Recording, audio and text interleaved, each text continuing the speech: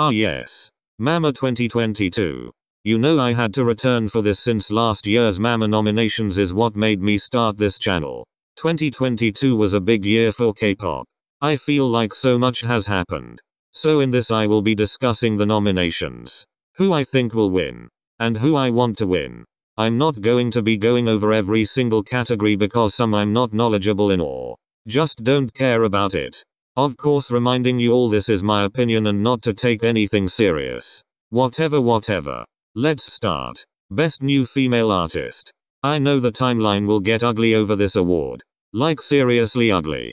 I think everyone in this category makes sense and there is no random choice. IVE is probably going to win. I mean this was a huge year for them.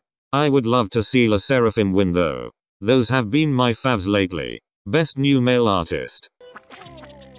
Who are you people? Best Female Artist. I have a feeling this will be an IU win. But I want Seulgi to win so bad.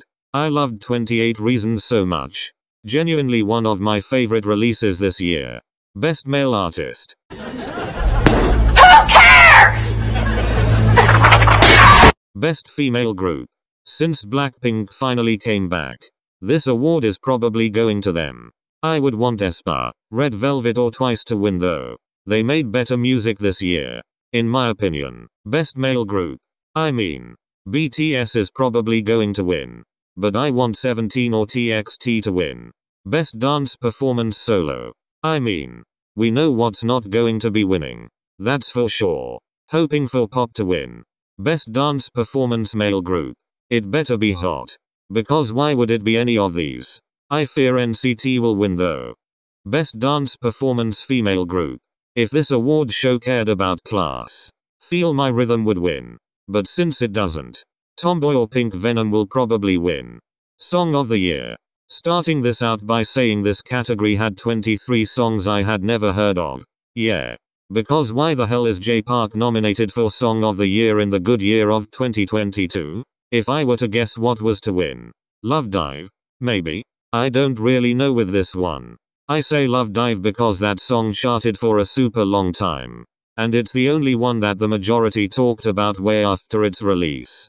There are a lot of my faves nominated for this award. But I feel like a lot of these songs aren't Song of the Year material. Hashtag sorry. Artist of the Year. Again. There were 7 people who I didn't know on this list. Because literally who is ATBO? This is one I genuinely have no answer on. I have absolutely no clue who is going to win this. There are a ton of groups that have only been around for like 2 hours. Who I will be irked by if they win. But I really don't know who's going to win. Sorry this wasn't as long as my last one. I didn't have as many issues with this year's nominations as terrible as last year. Very excited to see the show. Have a good day or night. Bye.